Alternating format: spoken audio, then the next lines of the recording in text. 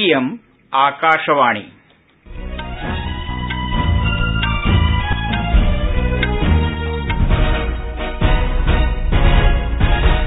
सम्प्रति वार्ता श्रूयन्ताम् प्रवाचक कृष्णप्रसादोपाध्याय आदौ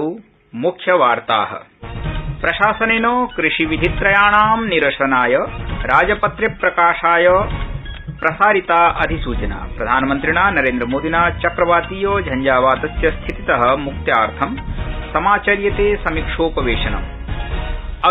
वर्षद्वये भारतीय राजमार्गा यूरोपीयदेशै सदृशं परिष्कृता भविष्यन्ति यात्रासमयं च अल्पी भविष्यति इत्युक्तं केन्द्रीय राजमार्गमन्त्रिणा नितिन गडकरीवर्येण उत्तरभारते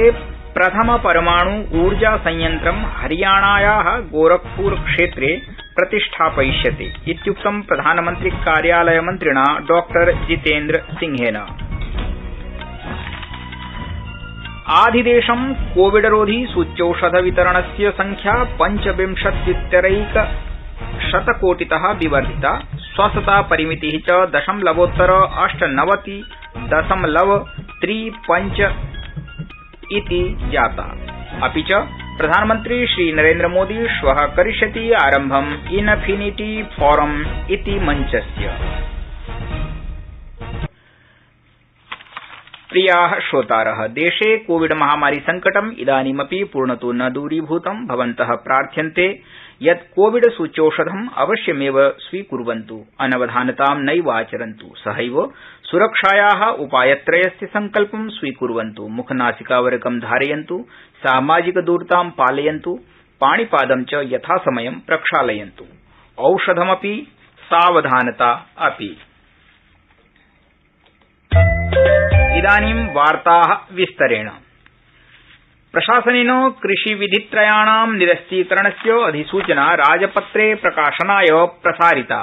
संसदि प्रवर्तमानस्य शीतकालिकसत्रस्य प्रथमे दिवसे एव सदनद्वये एतासां विधीनां निरसनसम्बद्धविधेयकानि अभ्युपगतानि आसन्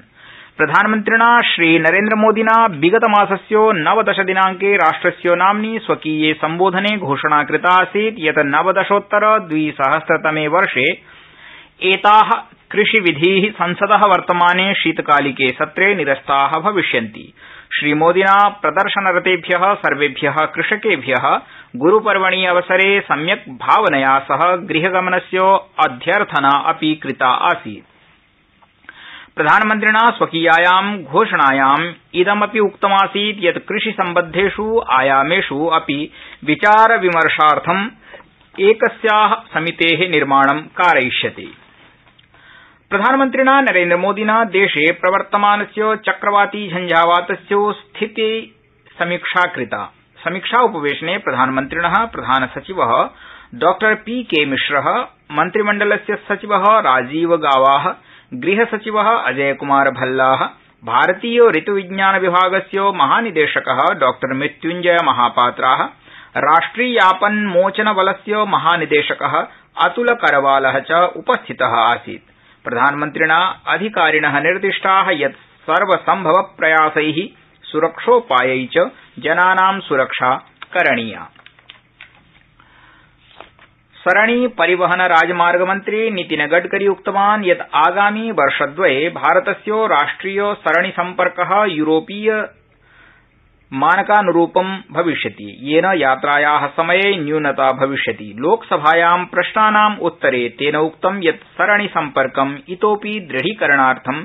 भारतमाला किञ्च प्रधानमन्त्री गतिशक्तिकार्यक्रमस्य अन्तर्गतं एकलक्षकिलोमीटरत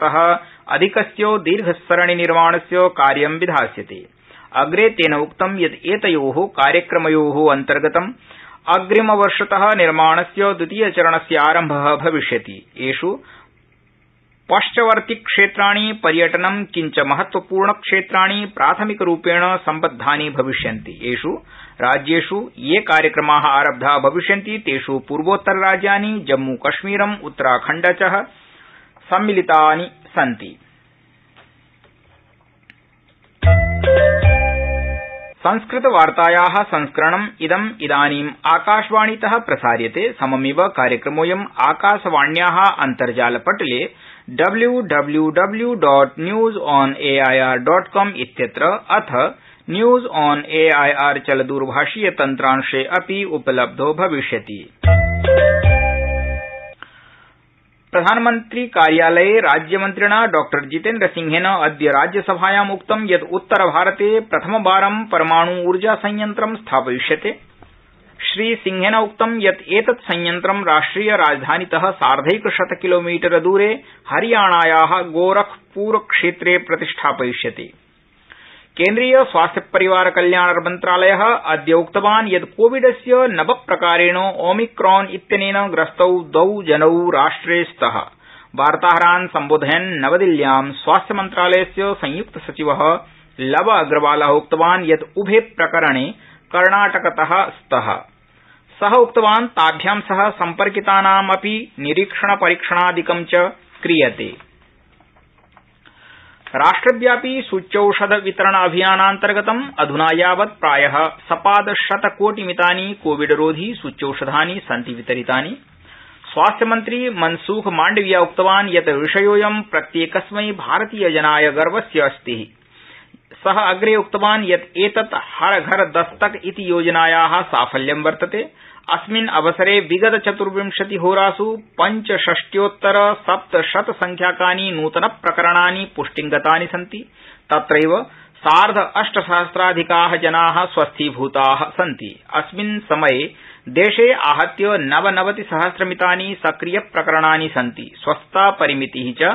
दशमलवोत्तर त्रिपञ्चाधिक अष्टनवति मिता जातास्ति प्रशासनम् उक्तवत् यत् प्राय सार्ध अष्टात्रिंशदृत्तर एकशतकोटिमितानि सूच्यौषधानि राज्येभ्य केन्द्रशासितप्रदेशेभ्यश्च निश्ल्कतया वितरितानि स्वास्थ्यमन्त्रालय उक्तवान् यत् अष्टसप्तति लक्षाधिक द्वाविंशतिकोटितोऽपि अधिकानि सूच्यौषधानि सम्प्रत्यपि राज्यानां केन्द्रशासितप्रदेशानां च पार्श्वे सन्ति अवशिष्टानि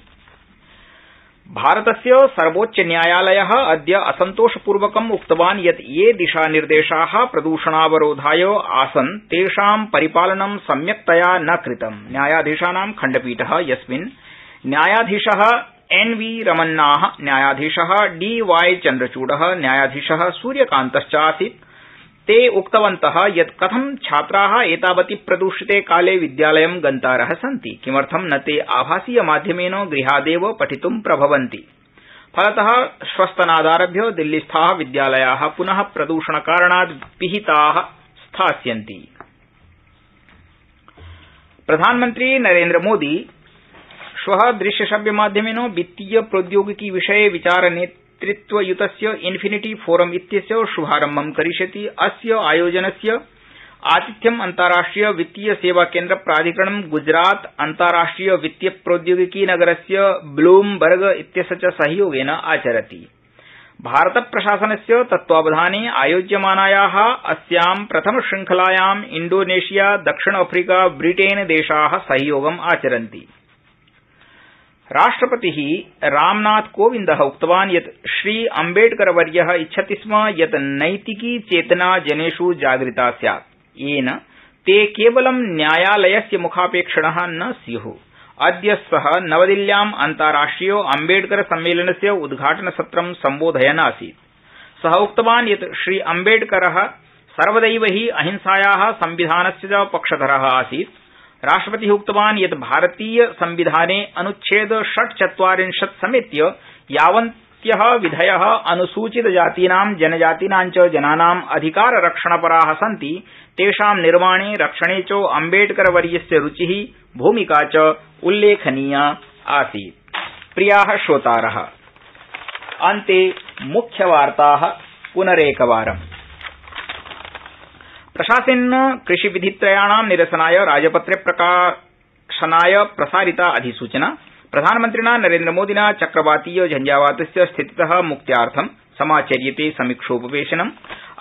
वर्षद्वये भारतीय राजमार्ग यूरोपीय देशै सदृशं परिष्कृता भविष्यन्ति